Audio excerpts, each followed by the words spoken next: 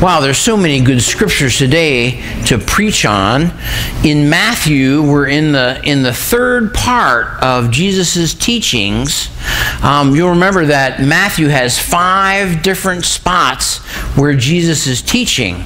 Remember the Sermon on the Mount in uh, chapters 5 to 7, and then um, uh, sharing with the disciples in chapter 10, and now he's doing parables and and Matthew uh, puts a bunch of parables in chapter 13 so that we can get a flavor for what Jesus is doing as he's teaching in the villages in Galilee. But we're not there today. We're not going to go there.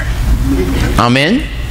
Amen. Because we are in a sermon series that we've all been following along faithfully, which is a series on Oh, praise the Lord. Amen.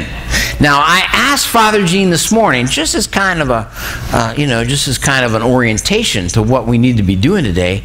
What is, what's our, what's our key verse for Romans? And I think, uh, well, he said, well, I don't, I don't know if we picked a key verse. I said, you know, like a key verse that we would all memorize, and just to kind of sum up what Romans is talking about. And well, I don't know if we've done that yet. So he said, he said, we thought we'd leave that up to you, Bishop. Um, my suggestion for Romans key verse is 5 1. Chapter 5, verse 1. It's a therefore, just like today's therefore, okay? So Paul is concluding his arguments uh, in chapter 3 and 4 and gets to 5 1, and he says, Therefore, since we have been justified by faith, we have peace with God through our Lord Jesus Christ. Amen.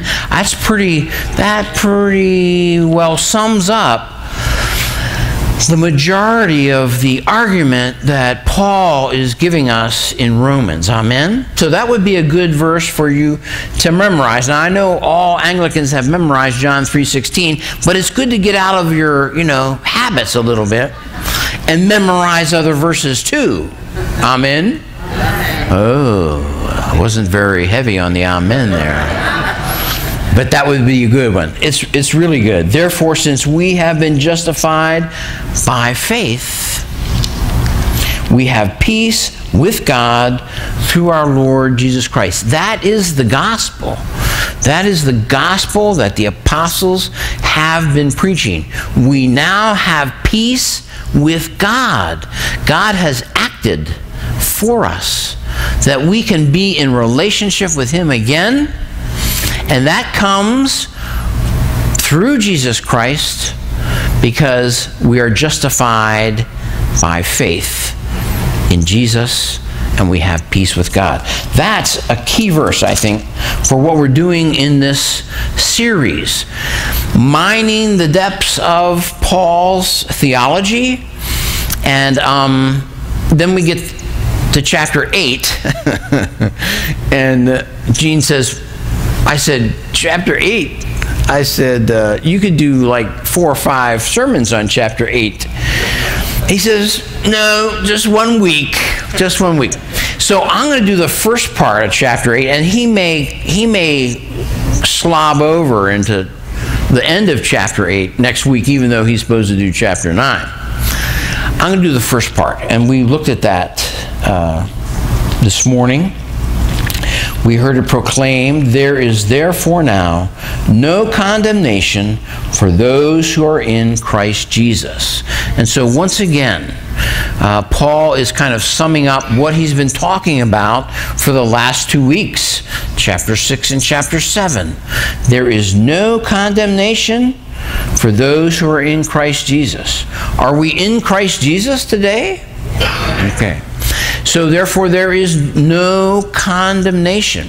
We have been justified by faith, and we have peace with God. Okay. Praise the Lord. That's how we have to live. That's how we have to live. So there is therefore no fear. We shouldn't be fearful about things Um, there's, there should be no shame about things. And if there is fear and shame and those kinds of things in our life, then we need to use the good old tools uh, to get rid of that stuff because God stands ready to cleanse us from all that. Um, and cleanse us so that we know that we've been cleansed. Some people, you know, kind of inch in and say, Oh, yeah, I know the Lord loves me. But. And I think Paul's saying, therefore, there should be no but. Okay? Therefore, there should be no but. Because, because Jesus has stepped in to cleanse us and he's baptized us in his Holy Spirit. Okay? And, and we should know, we should have the assurance in our hearts of his love for us and of his desire to transform our lives to set us free so that we can do those things that He wants us to do. Amen? Okay, so the faith that we have is given to us by God uh, freely through Jesus Christ so that we are now able to follow Him without uh, remorse, um, without any secondary thoughts. Um, sometimes there's things holding us back. We need to give that over to the Lord. Because the Lord has created us for His purposes. He has not created us for our purposes. Amen? Um, sometimes, though, we get that wrong, and that's why we have a book of alternative facts. um, that's why we read out of that book every week alternative facts, reality, reality, right here. Amen. Mm, love it. The you know the Orthodox are always kissing things. They kiss the icons. They kiss the Holy Bible. They kiss crosses. And a little tradition is after the gospel is read, the bishop, the deacon will kiss, or the person reading the gospel will kiss the gospel. Um, just as a as a sign of honor and a sign of love for these words. If the bishop happens to be there, he'll kiss it because he's going to preach about it. Um, and these words are life to us, life to us. Um, and um, our society has just kind of shoved it up there, and, and we don't want to hear it because it has some pretty tough things to say to us. He's saying to us today, do not live by this flesh. This is all that Jesus has done. For the law of the Spirit of life has set you free in Christ Jesus from the law of sin and death.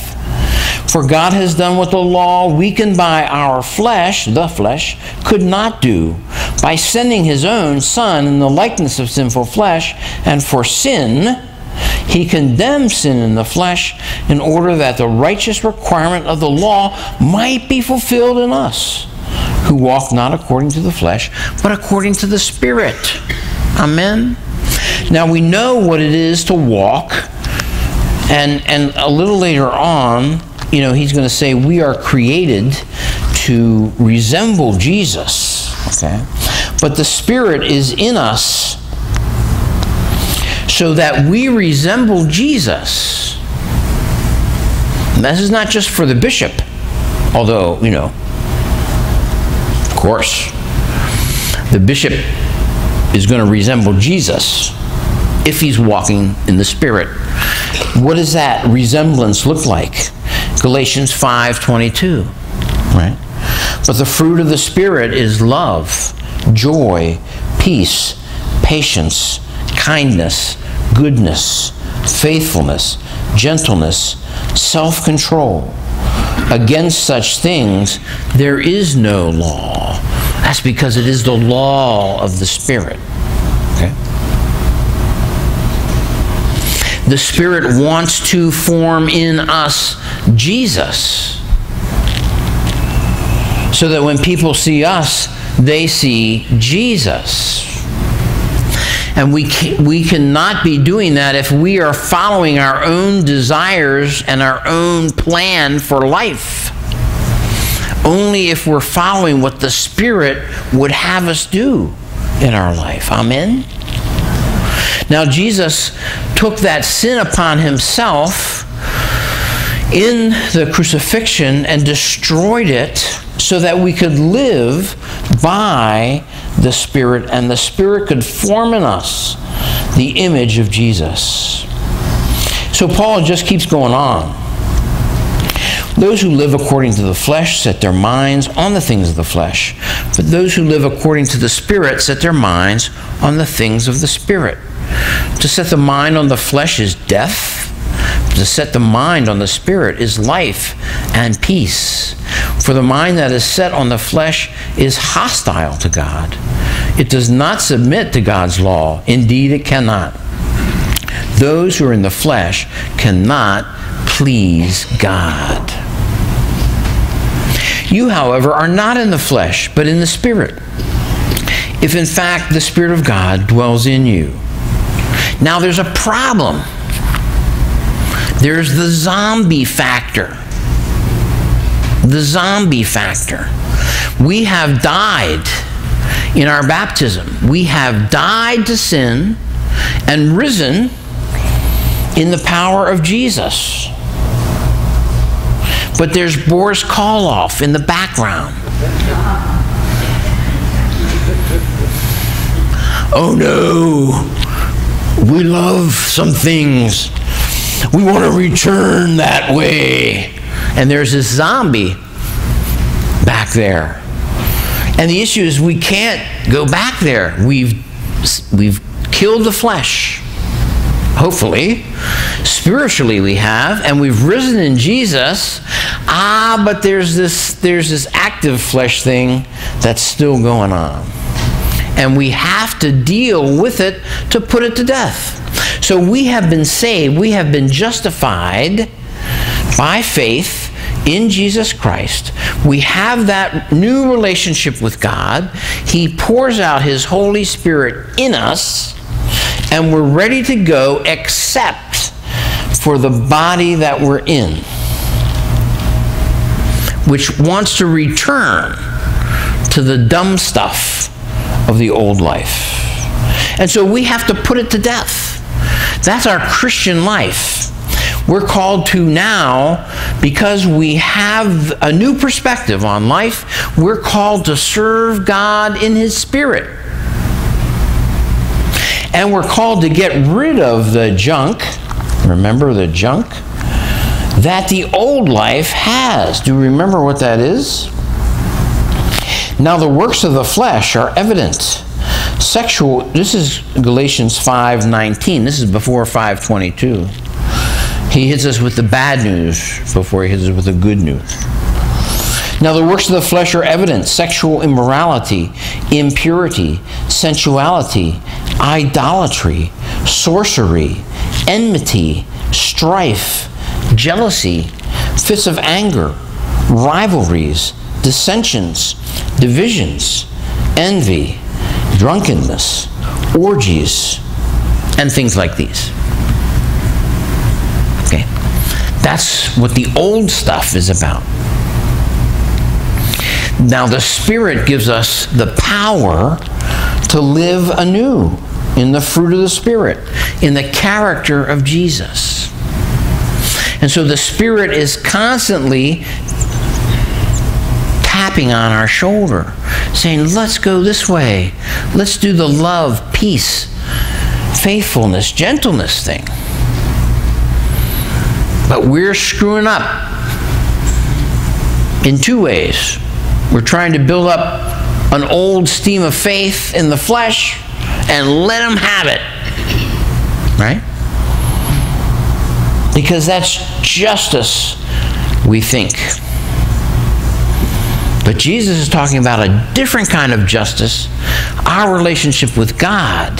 And he's trying to pull us back into a new way to do things and to confront things in love and peace and goodness and gentleness.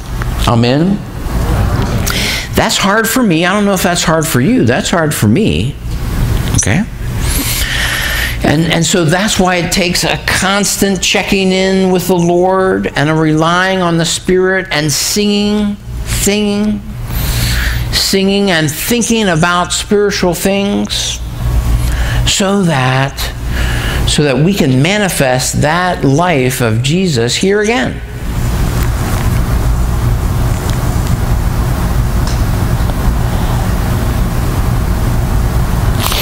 You are not in the flesh, but in the Spirit, if in fact the Spirit of God dwells in you. Anyone who does not have the Spirit of Christ does not belong to him. But if Christ is in you, although the body is dead because of sin, the Spirit is life because of righteousness. If the Spirit of him who raised Jesus from the dead dwells in you, he who raised Christ from the dead will also give life to your mortal bodies through his Spirit who dwells in you. Good news, amen? Therefore, there is now no condemnation for those who are in Christ Jesus. Amen? Amen. And because if we're in Christ Jesus, we're living a life of repentance, of forgiveness, of renunciation of these evil things that Paul has talked about to the Galatians in a list that's pretty comprehensive, but seems to go on and on and on. But we're new, we're made new. So then, brothers and sisters, we are debtors not to the flesh, to live according to the flesh. For if you live according to the flesh, you will die. But if by the Spirit you put to death the deeds of the body, you will live. So there is work for us to do. There is work. There's discipline for us to be involved in. Spiritual disciplines, prayer, uh, scripture reading and study, and other things too. So it's not like everything's done for us. Well, everything's been done for us, but we have to live into that. We have to we have to say that we want to do that as well. All who are led by the Spirit of God are sons of God, for you did not receive the spirit of slavery to fall back into fear, but you have received the spirit of adoption as sons, by whom we cry, Abba, Father. Now, for me, this is a crucial part of today's scripture. The Spirit Himself bearing witness with our spirit that we are God's children.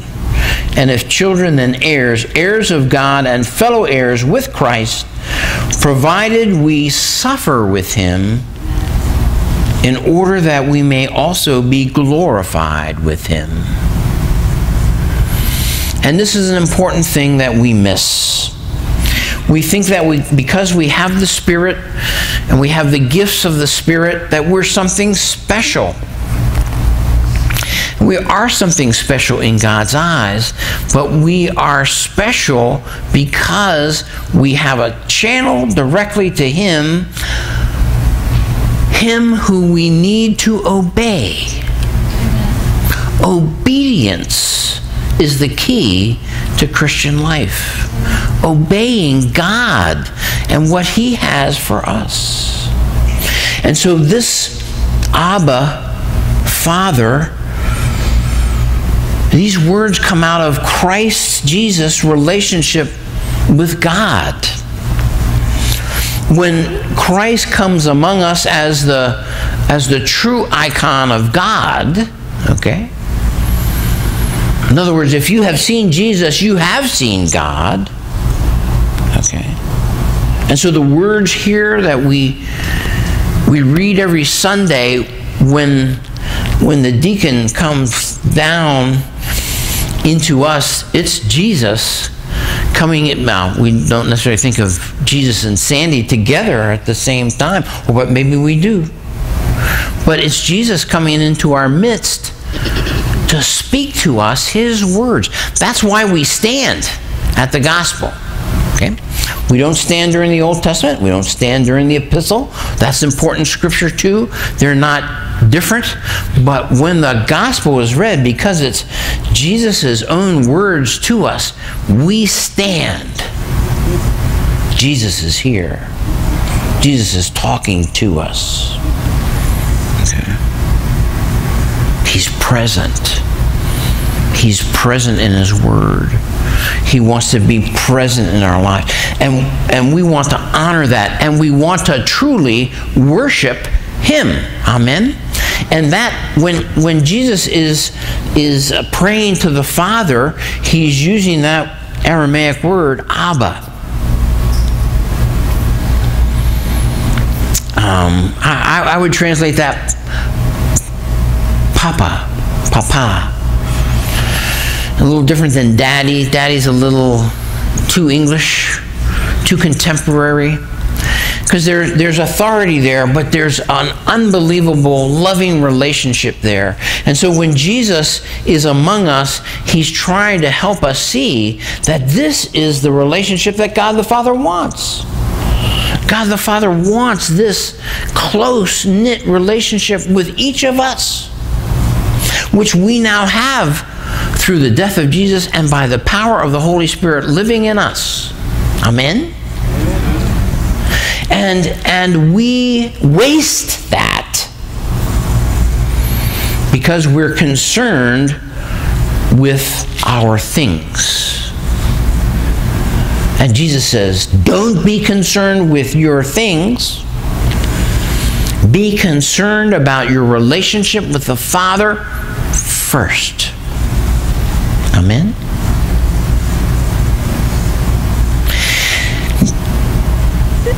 Jesus, uh, the, the, the specific, crucial, dynamic moment where Jesus' relationship with the Father is at its most difficult stretch is in the Garden of Gethsemane, where Jesus says, Father. Matthew, Luke says Father, right? Matthew says my Father. Okay? It's Abba. If you'll take this cup away from me, that is, right now would be a good time to do that. Alrighty? And so that prayer, Abba, Father, that worship, that relationship is stretched at that point.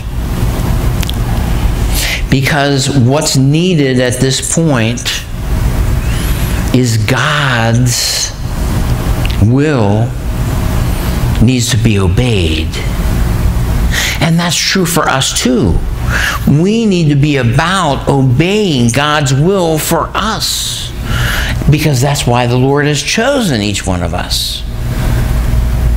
He's chosen each one of us to be His agents in the places where we are, in the places where He may send us.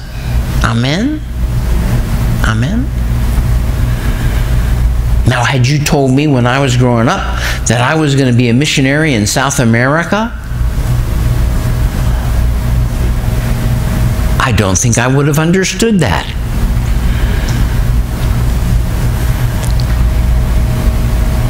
I didn't know that much about other cultures. Latin music for me was Herb Alpert and the Tijuana Brass.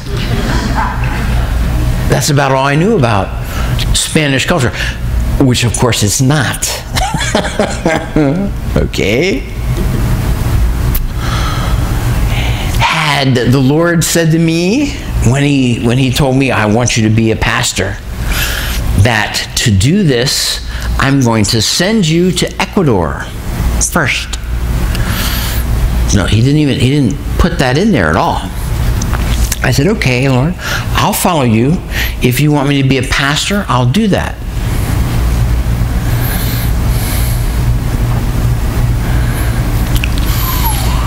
Um, how it was clear to me that this is the way the Lord was leading step by step by step. And when that time came, there was no There was no doubting, no presumption, no, "Mm, I don't want to do this. I said, okay, we'll try it. oh, baby. There was all kinds of bumps in that road. Especially when the bishop said, I don't want you to go to language school. Um, I want you to come here first and we'll find something for you to do.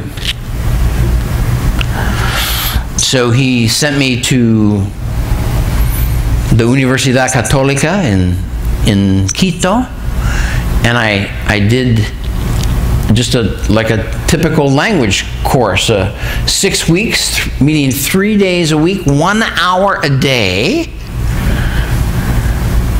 for six weeks. So then I knew about six words in Spanish. And then he said to me, All right, you're going to be in charge of the church in Cuenca. 10 hours south of Quito by car, half hour by plane. It's easier to fly in the Andes. I said, "Uh-uh. You're kidding. This is impossible. He didn't seem to be wavering at all. So off we went to Cuenca. Lord have mercy. So, the issue is are, are, we ready to obey God? Are we ready to obey Him when we don't see what's going on, when we can't see but like three or four feet in front of us? Because God is calling each of us to do His will and to participate in sufferings for the kingdom of God.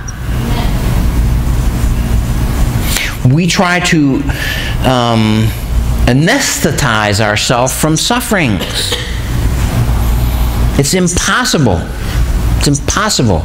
This, this old flesh, as you know, won't let us do that. Okay. And if that's true on the physical plane, it's not true on the spiritual plane as well. But we must maintain our lifeline by the power of the Spirit to the Abba Father so that we can joyfully do what He's asked us to do. Amen? He's calling us to greater things. To greater things than what we can imagine. Because He's involved in it. And He's faithful. And He's trustworthy. And He has forgiven us and welcomed us into His family. Paul is asking us to live into that. Put aside the flesh and live in the spirit. That a lot of contemporary folks are saying, well, well, we just have to love everybody. We just have to love everybody. And, and love is good. Amen. Amen. Amen. But I think this, this verse uh, in Galatians chapter 5, a little bit before those two other verses where we talk about what the flesh does, what we talk about living in the Spirit does, it says this. Paul says to the Galatians, But I say, walk by the Spirit, and you will not gratify the desires of the flesh. Unfortunately, today, everyone wants to gratify their fleshly desires. Okay? Now, we don't have to be mad at them, be mean to them, or anything else like that. But this verse here, Galatians 5:16, is, is our way to live, walking by the Spirit and not gratifying the desires of the flesh. God will give us the power to do that. He's already done that. Are you sure that you have the power of the Holy Spirit in your hearts and minds? Because we need to be assured that God is for us. And if He is for us, there is now no condemnation for those who live in Christ Jesus. Amen. Name of God, Father, Son, and Holy Spirit. Amen.